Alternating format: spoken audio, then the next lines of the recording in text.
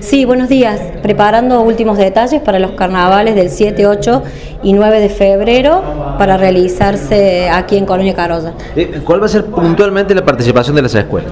La comisión Nelly Hansen este año, por primera vez, se va a hacer cargo íntegramente de todo lo que es la gestión de la parte gastronómica, comida y bebida, y de eh, las espumas.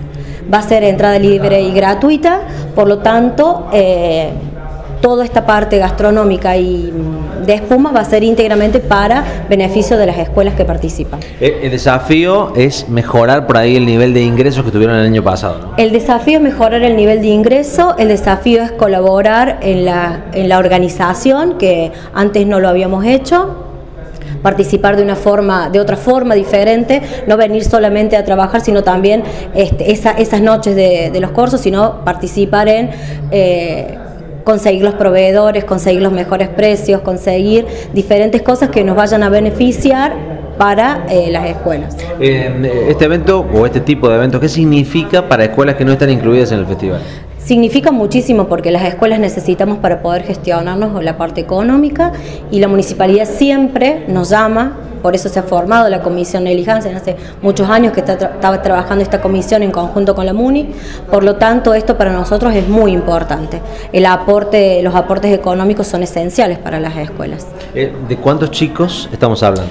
Eh, en los cursos del año, de este año 2020 se van a ver beneficiados 1.930 estudiantes de los niveles inicial, primario, secundario y adulto.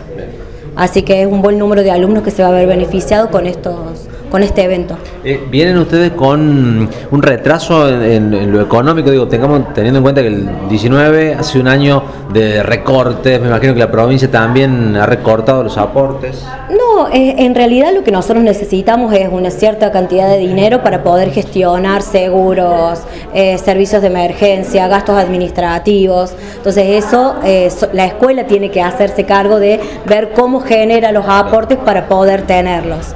las tenemos las escuelas, tenemos las cooperadoras, pero por ahí pedirle siempre el aporte al Papa, que con bonos contribución, la economía es para todos, está complicada, entonces bueno, estos eventos ayudan, que además de un evento cultural, donde viene, se pasa un buen momento, se disfruta, además sabes que lo que consumís está en beneficio de la escuela al que va tu hijo, porque son 11 establecimientos educativos, entonces alguna de esas escuelas tus hijos eh, están yendo.